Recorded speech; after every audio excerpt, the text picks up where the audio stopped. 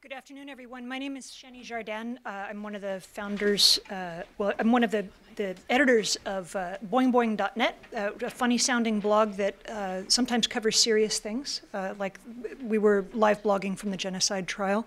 Um, I also uh, teamed up with my partner Miles O'Brien to produce a series of reports for the PBS NewsHour from Guatemala. Uh, and we were down there um, for about six weeks, observing the trial and interviewing uh, victims, interviewing uh, people like Patrick Ball and Pamela Yates and Kate Doyle and some of the other people that you see here, and also interviewing people like uh, Zury Rios and Harris Whitbeck. And um, it, it, it was an interesting experience. Uh, this afternoon, I am, am, very honored to be here uh, to uh, moderate this conversation with uh, Benjamin Manuel Jerónimo, who uh, is from a community called Rabinal. Um, his family is Achi Maya, they are Achi speakers. And one afternoon during the trial, I, I, literally sat at his feet while he um, while he gave a speech, all of us press were kind of crowded around his feet, and we were listening to him speak. I think it was on May May 9th or May 10th, and he uh, he delivered this beautiful speech. I, I just want to read you the, the last couple of lines of this. I I wish I could. Could, could fully explain how emotional it was uh, to listen to this inside the genocide trial. He, he ended his speech uh, before the court. He said, We are not looking for vengeance. We're looking for a true peace with justice, with respect, with equality, with dignity. That is why we're here. So I ask you once again, he said to the court, the moral reparations to the victims, the protection of the witnesses, of our lawyers, that all of the Maya people be respected and protected.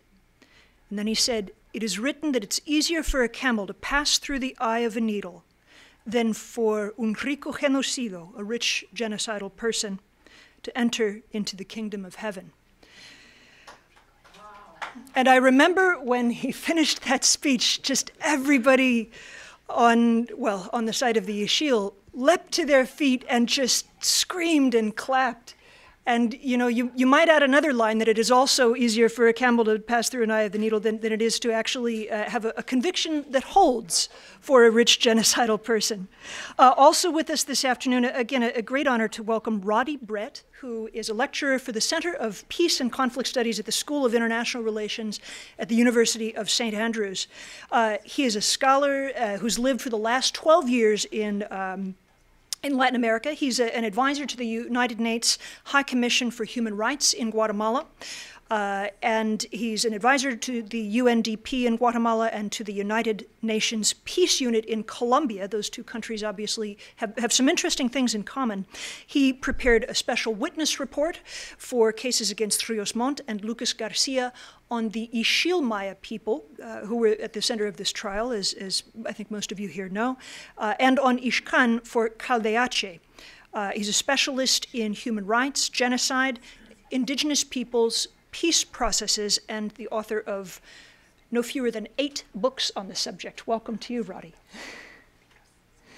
So, um, you know, the, the, the, the theme of our conversation this afternoon is on building peace after genocide. And I imagine that if you, if you uh, posed this, this theme to a number of people in Guatemala, you know, they would say, well, well what peace and what after? Because, uh, you know, you could easily make the argument that the genocide um, the genocide didn't end. Yes, the mass killings, uh, in the sense that they happened during the time of Rios Montt, have ended. Uh, but one could argue, and in fact, uh, uh, there are indigenous groups who argue today that, that like the, uh, the extractive industries, the mining, the, uh, in, in, San Rafael, and those four communities that are under state of siege, that were placed under state of siege, military occupation during the trial, that this kind of activity is a form of genocide as well. And I, I thought maybe it would be nice to begin by asking Benjamin Jerónimo um, for his thoughts on, well, all that has happened since that day, since he gave that beautiful speech, uh, the conviction, the effective overturning of the conviction, and where we go from here to, to pursue uh, peace after genocide. And we do have a translator here. Bueno, eh, muchas gracias por el espacio. De llegar hasta acá. un pueblo, para mí, pues, un pueblo muy admirable Thank you so para much. mí por la distancia. Pero Thank you so much for giving me the space to come here to talk to you. Um, it's very important for me to be here. Pero por mis finados, por las víctimas, por los sobrevivientes, hemos llegado acá. For my family members, for the victims, for the survivors, that's why we're here today. Me decía un licenciado que para contar un poquito lo de ahora es necesario contar un poco lo de antes. And in order to talk about what's going on right now, we still have to talk about what happened before. Mi experiencia que nos dejó el genocidio The experience that the genocide has left for me Después que fue la masacre, perdí 14 miembros de mi, de mi familia. after the massacre, I lost 14 members of my family. No echando, no incluyendo mi- mis abuelos, mis tíos, mi sobrino. And that doesn't include my grandparents or my aunts, uncles, nieces, or nephews. Después, para construir la paz después del genocidio, And so, after, in order to build peace after genocide, después que nos quedamos solos, cuatro hermanos varones de mi familia, the four brothers that were left, the, the four of us,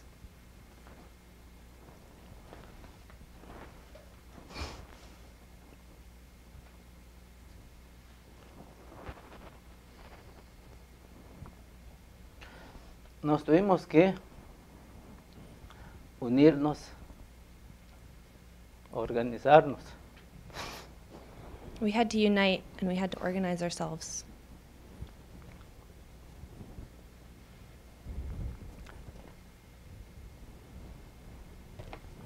para ver qué se puede hacer. to figure out what we could do. Desde 1980 y 90 95, siete años o seis años después de la masacre, después del genocidio, nos tuvimos que unirnos para ver si se puede denunciar lo que nos habían hecho. So, in, in 1995, seven years after the massacre, after the genocide, we got together to try to figure out how to organize ourselves and, and do something and denounce what had happened. Y gracias a las organizaciones internacionales, seguramente eh, por el tiempo ya no los conozco, pero han llegado varios en mi comunidad, donde nos acompañaron. And thanks to the, the international community who came to help us, to accompany us, um, it, was, it was really them who were there to, to give us support and accompany us in this process. Y ellos son los que nos dieron fuerza para poder denunciar, And they gave us the strength to be able to denounce what had happened. para presentar nuestras denuncias en el Ministerio Público. and to pr- um, to present the the denouncement of what had happened um, formally at the the public prosecutor's office. Mi experiencia de llegar en este caso, en este momento, sobre el, el caso colectivo del genocidio en Guatemala, And so my experience with this collective process of looking for justice for genocide in Guatemala, también fui, fui queriantes del caso de mi propia comunidad, de 256 miembros de mi comunidad.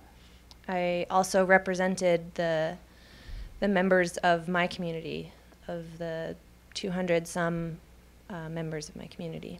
donde fueron eh, con- condenados cinco miembros, tres miembros del ejército, ex soldados, eh, un jefe comisionado y un judicial de la G2. Um, where five different um, military officials were condemned, um, and they each have different uh, Fueron condenados eh, con 780 años por asesinato. And they were each condemned for 780 years for murder. Y así eh, nos fuimos organizando ya, eh, se fue formando la, la Asociación para la Justicia y Reconciliación AJR en Guatemala. And this is how we started our um, organizing by forming the Association for Justice and Reconciliation in Guatemala, donde tiene cobertura en cinco regiones del país donde su- sucedieron las masacres. uh, that is represented by five regions in Guatemala where the massacres occurred. En 2009 también fue representante legal de la Asociación para la Justicia, AJR en Guatemala. In 2009, I was also the representative for the AJR, the Association for Justice and Reconciliation in Guatemala. En 2011 también fui eh, como reelecto, solo descansé dos años para ser nuevamente el representante legal de la Asociación para la Justicia y And then- Reconciliación. And then in 2011, I was reelected, so I only had two years to relax um, before they called me again to represent them. Y eh, con una compañera que era eh, expresidente que salió cuando yo recibí en 2011, ella fue la que hizo capturas en contra de los miembros, los responsables intelectuales, intelectuales del genocidio en Guatemala. And with my compañera, who was then the president of the AJR, um, she was in charge of it uh, when they issued the arrest warrants against um, Rios Montt. Seguidamente eh, continuamos, ¿cómo se llama?, con el, con el proceso, eh, donde eh, acom- con acompañamiento de nuestros abogados de CalDH, eh, el año 2012 o sea, 12 se habían quedado unos eh, recursos eh, pendientes, eh, impuestos, o sea, este, propuestas por los eh, abogados defensores de los responsables de las masacres. And so we were always represented by Caldeache, our, our legal representatives in the case. In 2012, the legal representatives of the defense tried to put forward um, these legal stays on the case um, that CALDH had to um, work around. El 11 de, de enero empezamos nuevamente ya eh, concluyendo con los eh, recursos que habían dejado. Se había quedado el año 2012. In January 11th, um, all of those legal stops had been resolved and the case would move forward in 2012. Y eh, también eh, en el 2012 eh, los abogados defensores pusieron, interpus- interpusieron más de 100 recursos, donde el 95% fueron, les fueron rechazados, les fueron negados y fueron resueltos a favor nuestra, de las víctimas. In 2012, the defense lawyers put forward more than 100 uh, injunctions or legal stops trying to halt the process, in which over 95% were found um, were rejected out of hand, um, that there was no basis for them. De esa manera eh, tuvimos, eh, logramos avanzarnos para llegar eh, en la fase intermedia, es donde se entregan las pruebas, donde se solicita, eh, se entrega eh, eh, los documentos eh, elaborados por ellos para cometer la masacre. Uh, and after overcoming that obstacle, we were able to move into the debate phase or the, the actual case um, hearing in the courts, which um, opened the way for showing the evidence and having the testimonies uh, to prove that there had occurred these massacres. Y gracias a, a un varón guatemalteco eh, que se llama eh, Miguel Ángel Galvez, que fue el que recibieron, recibió las pruebas eh, en contra de los responsables.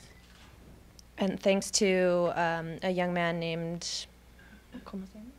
Miguel Ángel Galvez. Miguel Ángel Galvez, um, there was very tangible proof um, to advance the case forward. Terminamos con las, eh, los recursos que había, que tenía en su mano y luegamente lo trasladó el documento, los expedientes al tribunal de sentencia. And he was able to um, turn in all of the evidence, and once the evidence had been presented, the case um, moved forward into uh, the final decision making moment. Seguidamente, eh, el Tribunal de Sentencias nos notificó que el debate oral y público se iba a empezar el 14 de, de agosto de este año. We were originally informed that uh, the trial would open on the 14th of August of this year. Pero por el, la magnitud y la gravedad del caso, But because of the magnitude and the gravity of the case, la jueza, los tres jueces, una mujer valiente, dos mujeres valientes guatemaltecas y un varón a la par también valiente, se apuraron para continuar con el debate oral y público. The judges, two very brave women and one very brave man, decided to speed up the process and, and move it along more quickly. Seguramente ellos pensaron de que si se dejaba hasta para esta fecha, el 14 de enero, Um, agosto, ¿no? perdón, they- agosto, perdón, agosto, They, they probably thought that if they waited until the 14th of August, los abogados defensores podrían, tienen el tiempo para meter, meter o interponer otros 100 recursos para detener el caso. that the defense lawyers would take that time to put in another 100 injunctions uh, to stop the case. Pero por la valentía de las dos mujeres y el varón, empezamos el 19 de marzo. But because of the courage of the two judge women and the, the male judge, we were able to start um, in March. Y desde el 19 de marzo también empezaron a poner otros recursos, otros amparos, apelaciones, recusaciones en contra de los abogados, en contra de los jueces, perdón. And the, the defense immediately started trying to put in other uh, stops, stays, injunctions, anything to stop uh, the judges from being able to hold a trial. Gracias a Dios tampoco eh, lograron, sino, sino que también eh, la actitud,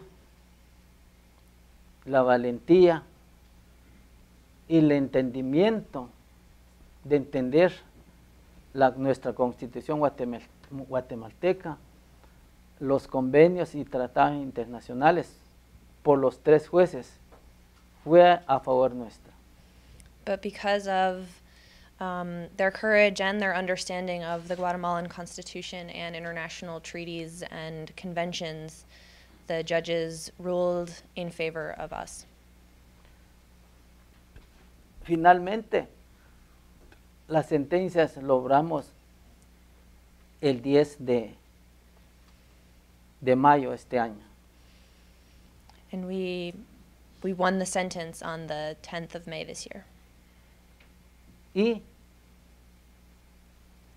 en el momento de que estábamos enfrente, yo como representante legal, eh, vi todas las, eh, las actuaciones de los abogados defensores And in the moment that that happened, I was the legal representative. I was in front of everything um, as the, a protagonist. porque fueron como niños ante el, ante el tribunal. I saw that the defense lawyers um, and party um, acted like children in front of the tribunal. no pudieron defender a su al general, sino al final, en vez de defenderlas, más lo fueron a acusar de todo lo hecho. I can second that. I was there. Esa es la alegría para la asociación. That they saw that they couldn't defend the generals, and so they left. Y al final salieron corriendo They left running porque ya no hallaban qué decir. because they had nothing they could say. Pero en Guatemala se maneja siempre la impunidad. But in Guatemala, there is always impunity. Eh, la corte más alta de Guatemalteca lo anula una parte de la sentencia. And the highest court in Guatemala annulled a part of the sentence La semana, ante, la semana pasada. last week. Y eso es el, el riesgo que tenemos la situación que tenemos ahorita, la preocupación, perdón, And that's the concern that we have right now. como asociación, como sobrevivientes, como eh, abogados, jueces, fiscales, As the association, as the victims, as the survivors, as the lawyers, as the society. porque seguramente si se anula por completo el, el- juicio, y esperamos que no, pues eh, el ejército nuevamente se, se va a instalar, o sea, se está instalando, pero no ha podido poner bien las manos porque todavía están, eh, hay algo que está, que nos está viendo, hay algo que nos está acompañando para no dejar, para no permitir que, que nos anulen por completo. And we, we just we can't let them annul total all of the case, all of the sentence, because that would allow the military to do what it did before, and already it's installing itself in communities. Um, we need this precedent so that the military can't just repeat what it has done in the past. So uh, our, our time is limited during the session. I want to uh, give Professor Brett a moment to, to respond to some of what uh, Benjamin Jeronimo was just saying. When we were in the court, I remember part of your speech, you, you spoke about um, a, a request uh, or a, de- a demand that the Army stop occupying indigenous communities, something that was renewed in a new way during the trial itself. Uh, Professor Brett, can you take us back? How was peace built after uh, the peace accords, after, after, after, after the genocide as it was defined for this trial ended? And how effective was that? Thanks, Jenny. And thanks, Benjamin. Gracias. Um, I think the short answer is that it wasn't built. I think peace hasn't been built in Guatemala. Um, for many reasons. I think, first of all, there wasn't even any significant agreement on the, on the meta conflict. And by what I mean by that is really what the conflict was about, what it meant, what it, how it was defined, and in terms of the fact that whether or not it was a genocide. And clearly, what's happened over the last few months specifically has, has demonstrated that. So, what does that mean? Well, I think it means that post authoritarian change has been shallow. And I think that's also, and this is an important point, that's what makes the achievement of CALDH and the AJR so important, right? Because of the context in which it's taken place. And getting Rios Montt and Sanchez Rodriguez to, to the courtroom. So I think in terms of the peace, how I would see it is that it's really, it was a peace process that never engaged with the root causes of armed conflict. It was a peace process that debated and negotiated everything with the exception of that, right? Um, it was a peace process that was effectively, I think, despite the important struggles of civil society organizations, without those struggles, we wouldn't even have got to that peace process, I don't think. Or at least it would have been a very different peace process. But I think that it was a peace process that was imposed upon a very reticent and reluctant elite, right? And clearly that's been demonstrated today. And it's that elite today that still has a Cold War mentality, right? Um, it's that elite that never exercised any ownership over the peace process. Um, so I think one of the most acute weaknesses of the peace process has clearly been the fact that we failed in terms of achieving one of the principal goals of a peace process, which was reconciliation. Um, and I think, well, clearly, as we know, historical and legal truth is still being debated. The perpetrators have never assumed responsibility for what they did in any way whatsoever. Um, and I think an important point here is that before rights mechanisms can actually, human rights mechanisms or normative frameworks can actually apply to individuals or collective groups, these individuals and collective groups must be recognized as humans, right? As rights bearers, as deserving as, of rights. And that hasn't happened in Guatemala. Precisely, I think, one of the key elements of what Marta was saying because of racism. So that is a, an essential building block that we need to overcome 30 years after the massacres, 16, 17 years after the end of the peace process, right? So that would be We're still working with a state that doesn't define them fully as human absolutely beings. right. No, so that would be the first point. The second point I want to make is that in that regard, what I think the current crisis, if you want to call it that, with the trial demonstrates, okay, it certainly demonstrates a weak judicial system, um, weak institutionality, impunity, which has been have been recurring problems in Guatemala. But clearly, for me, the crisis with the trial demonstrates the absolute failure of the peace process in that regard. Okay, um, and impunity for genocide, as we will see and are seeing, and for crimes against humanity. What that means and what that brings about is validation for such crimes. Literally, these crimes are validated. There's no sanction for them, okay? Which ends up, I think, further dehumanizing indigenous peoples um, and bringing about, as I think some of some other people mentioned, the distinct possibility of repetition in the future, okay, in one way or another. Um, and as I think we were talking on the phone yesterday, Jenny, I mean, what people in various parts of Guatemala have said recently is with the state of siege and the military interventions, it's like the 1980s all over again, as we were saying yesterday, right? So I think that's crucial. So I think we haven't yet, in what is essentially a highly unconsolidated, violent, fragile, pernicious, hybrid democracy in Guatemala, we haven't reached that level of irre- irreversibility of rights guarantees. Okay? And just, just to finish, or to, to, to, to conclude with that, in terms of what the future might hold, I guess, um, I think we're probably all in agreement that the trial could inevitably have represented quite a crucial building block to build a state and for reconciliation. And I think that the crucial gains have been achieved really because of what Otto was saying earlier on.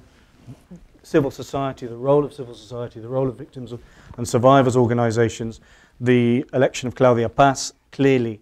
Um, and this is a trial that I think, despite how a lot of internationals have played a really crucial role in the trial, it's a homegrown Guatemalan trial. And I want to put that right on the table. Okay. the biggest historic aspect here is this is the first time in history that a former head of state was placed on trial for genocide and crimes against humanity in a domestic court in that same nation. And, and a trial that isn't driven by the state, that isn't, isn't pushed as some transitional justice processes have been, but it's pushed by survivors, and that's crucial. So, what does that mean? Well, I think it means a few things. I think clearly we need to ask ourselves whether or not we actually have the risk of losing ground as a result of this trial. Um, do we? I don't know. It's a debatable point. The second question I, I think I'd like to ask is is it only a genocide if a court of law says it's only a geno- says it's a genocide?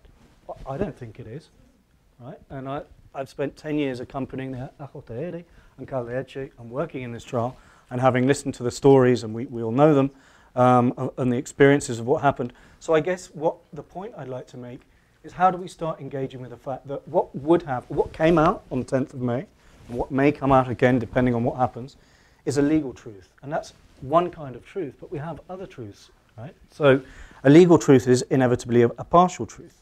And I think, as, as, as certain people have said, the damage has been done to the elite. So, literally to finish, um, in terms of continuity, okay? Because I think clearly what we've seen are the massacres and what happened in the, in the court recently is really shaped by the weight of history, okay? And by that so called Indian threat and by racism, as Marta was saying. So, what we've seen is generally, and I say generally um, because it's not, it's not necessarily the case, whilst the massacres or the systematic massacres have stopped, generally stopped, um, obviously Totonicapán, San Rafael, and other parts of Guatemala, massacres are continuing, particularly related to international and national extractive industries and the imposition of those in Guatemala's pernicious peace. Um, I think whilst, that's, whilst massacres have finished, what we see today is indigenous people are still dying of preventable diseases, of hunger.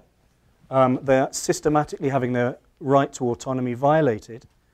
So I guess my question would be, is the normative framework that talks about genocide enough? And do we need to start thinking about defining, preventing, and how, how we define, prevent, and punish what's going on today in Guatemala? Is it a cultural genocide? Is it ethnocide? How do we understand it? And how do we think about a normative framework that would engage with that? Um, and the last point, really, would be how do we also start thinking about the role of international actors? Because clearly it's a double-edged sword, right? Um, the Guatemalan elite constantly play the sovereignty card when it suits them. And I think if we all remember in 2006, I think it was June 2006, when Santiago Pedraz went to Guatemala, maybe it's 2007, um, and was basically had to leave with his tail between his legs because the Guatemalan authorities would not um, cooperate, saying that literally, I remember the front page of Prensa Libre um, said that the, el trabajo de los españoles se terminó aquí en 1821. Right? So the work of, of the Guatemalans finished here in 1821. Sovereignty. That same week, and this is crucial, that same week, the Guatemalan authorities signed the last elements of the free trade agreement with the US.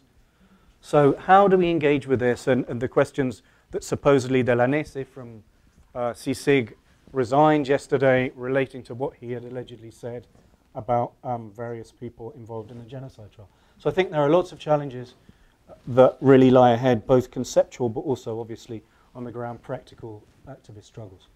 So I'm getting some very emphatic cues that we need to wrap up, but I do want to give uh, Benjamin Jerónimo the last word here. Sir, what would you say to concerned American audiences who would like to support uh, the, the struggle of the victims of these abuses?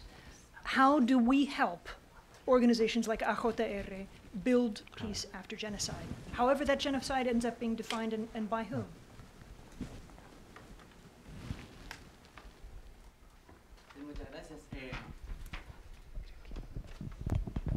La verdad, pues eh, nosotros como asociación, pues necesitamos eh, primeramente el acompañamiento internacional, porque eh, la verdad, eh, yo quiero ser sincero de que se ha ganado la, la, la sentencia en Guatemala por la presencia, ¿cómo se llama?, de, de la, del organismo internacional. Eh, What I first want to say is that um, it's what we really need is the international community to be present and to accompany us because what we've achieved in the trial, uh, what we achieved in the sentence, was thanks to the fact that international allies have been accompanying us. Entonces, eh, les dejamos esta recomendación. Eh, quisiéramos eh, pedirles el- la solidaridad de acompañamiento internacional para que también eh, miren los, los acusados y los familiares de que sí hay presencia, aunque ahorita en Guatemala está fuerte, ¿cómo se llama?, la amenaza en contra de la, la, la organismo internacional.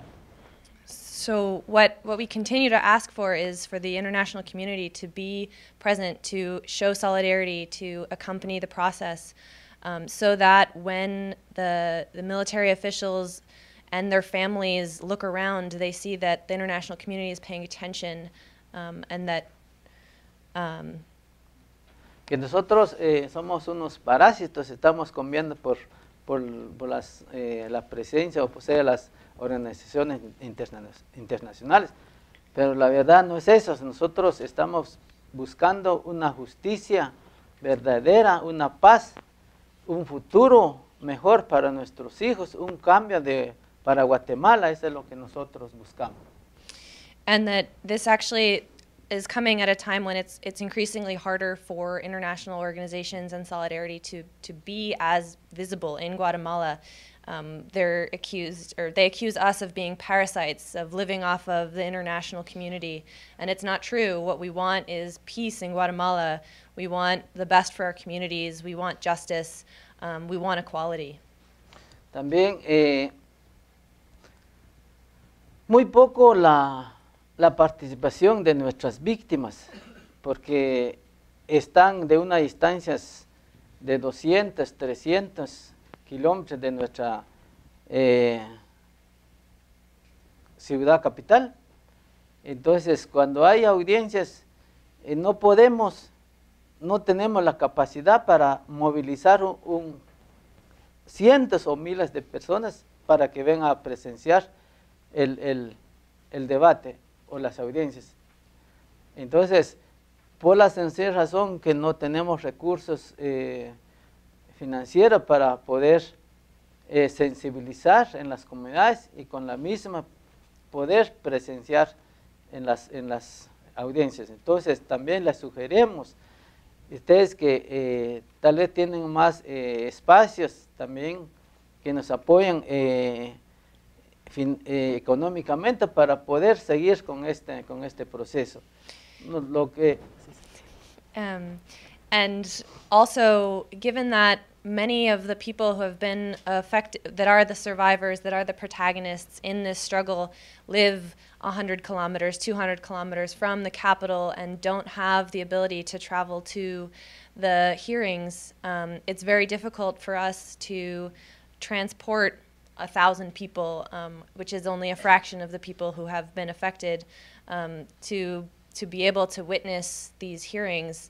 Um, and it's hard for us to come back to the community and be able to tell everyone what exactly happened. So, another way that the international community could really help, given that there are more resources and we really do not have them to be able to, to mo- mobilize people, is that the international community help um, financially so that we can help uh, bring the message back to the communities in which we live and continue this fight.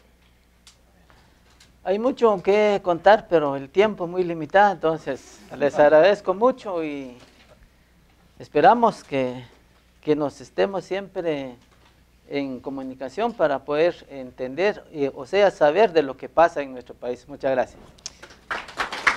So, time is very limited. Don Benjamin and Roddy, Brett, thank you very much, both of you. Muchísimas gracias.